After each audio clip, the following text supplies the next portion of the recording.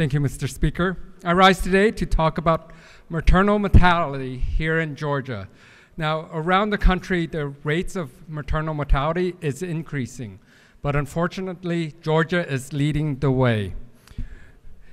With, on average, across the country, around 30.2 women for every 100,000 births, 30.2 women die from mater maternal mortality.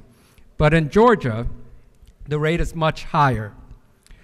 Among white women, the rate is 23.3 per 100,000 births.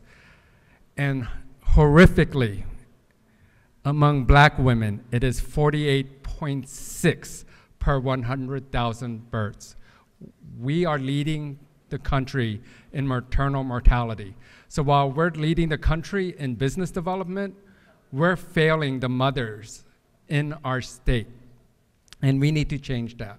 We need to show the country how to lo lower maternal mortality throughout the country by showing how we do it in the state of Georgia. And I'll finish with this last tidbit. If you're wondering why um, Asians aren't listed, when it's under 5%, we do not list those statistics out of um, privacy concerns. Thank you. Thank you, Mr. Speaker.